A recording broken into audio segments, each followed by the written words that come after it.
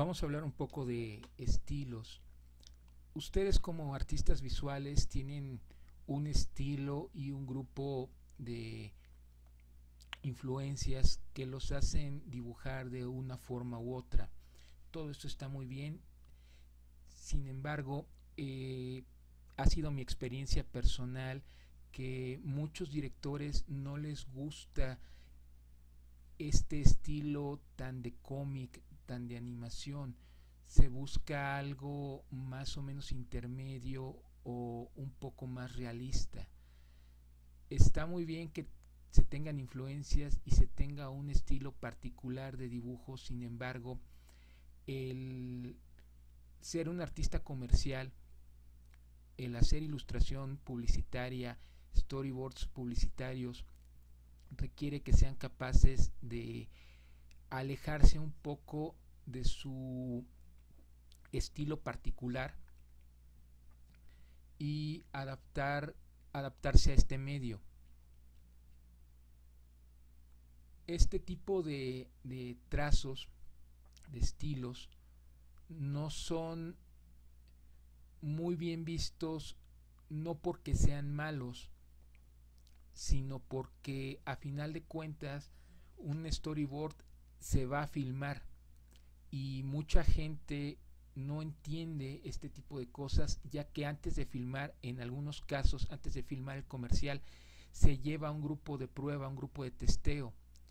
Este, este grupo de prueba normalmente está compuesto por amas de casa gente que no tiene una formación visual que no está eh, inmersa en el mundo de los cómics y la animación y no entiende este tipo de cosas.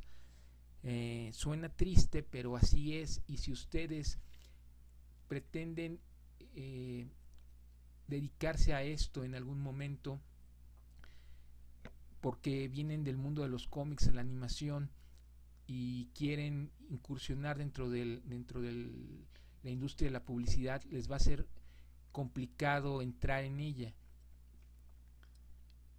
Cuando alguna campaña sí lo pide, eh, algún director eh, lo requiere, bueno, se puede hacer algo un poco más, no sé, cercano al manga, cercano al cómic americano o a la animación, dependiendo de cuáles sean las influencias de, cada uno de ustedes y las circunstancias. Pero este tipo de cosas, aunque a mí en lo personal me gusta mucho este, este estilo de dibujo, no van a conseguirles mucho trabajo. Y de lo que se trata es que ustedes eh, tengan un, tengan oportunidad de, conseguir comisiones y trabajo dentro de este medio, que estén entrenados para hacerlo. Si ustedes se dan cuenta, el tipo de vestuario es completamente diferente al de un cómic, el tipo de actitudes.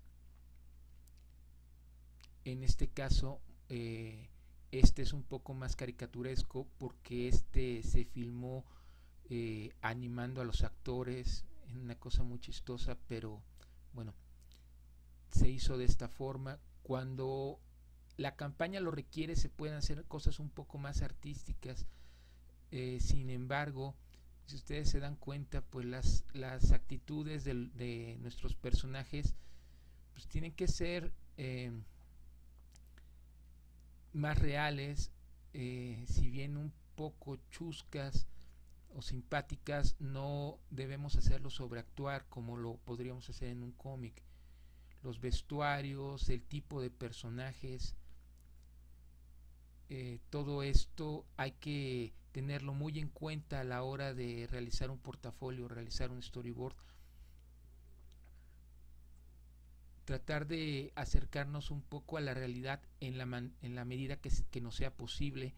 Tampoco se les pide que sean eh, unos eh, artistas hiperrealistas, pero que sí sepan manejar proporciones reales, que si bien sus personajes estén influenciados o, tengan ese toque de cómic, pues sea un poco más universal, que sea solamente algo ligero y que no y que no marque completamente el trabajo que van a entregar.